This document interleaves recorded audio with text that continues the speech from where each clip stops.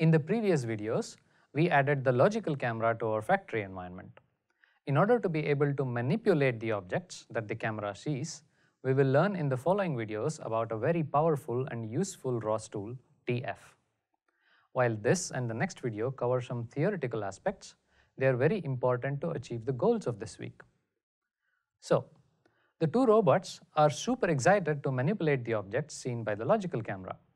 On top of that, they are keen to say hello to the turtlebot which is going to transport the object they will manipulate. However, in this excitement and enthusiasm, they have entered into a dispute about the position of the turtlebot. Let's find out what the dispute is about. So we start the factory simulation using the hrwros underscore environment.launch as we have done all this while. And as we can see, after the launch is complete, we have our uh, two robots and the turtlebot in the scene. But like I just said, there seems to be an argument between robot 1 and robot 2. And the robot underscore squabbler ROS node is reporting live about the issue to us. So robot 1 says that the xy coordinates of the turtlebot are at minus 4.5, minus 2.0 and robot 2 is saying no, the xy coordinates of the turtlebot are at 1.3 and minus 3.8. And as this argument rages, TF comes to the rescue. What's going on here? You both are fighting. Now you should stop fighting and stop talking to each other about the turtlebot location. You talk to me, and you talk to me. I will take care of where the turtlebot location is. Okay? Good. I'm watching.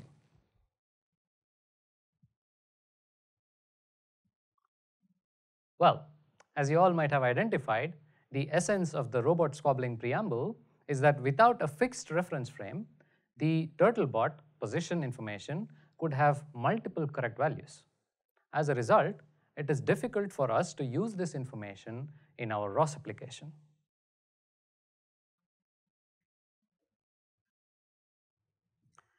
So the main idea behind ROS TF is that TF is used to keep track of spatial and temporal relationship between different objects in our environment. This is achieved using the concept of reference frames in 3D. For example, if we take a point B, then a possible 3D reference frame for this point can be something like this. On similar lines, if it is a 3D object such as this box, then a corresponding reference frame for the object could be something like this. And the nice thing is such reference frames also provide a framework to represent rotations of objects in 3D.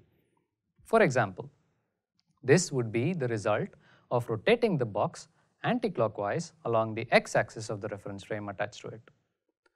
Well, this is nice, but what convention does ROS use to define these frames? The convention used in ROS to define these frames is the right hand rule. That is, if we stretch the thumb, the index finger and the middle fingers of our right hand like this, then the index finger refers to the x direction, the middle finger refers to the y direction and when we curl the index and the middle fingers into a fist, the thumb points in the z direction. So for example, right hand rule is also valid in this configuration or like this. Okay, we are now aware of the main idea behind TF and the convention used to define reference frames in ROS. But how are they generated in ROS? Where are they located once they are generated? Let's find out in the next video.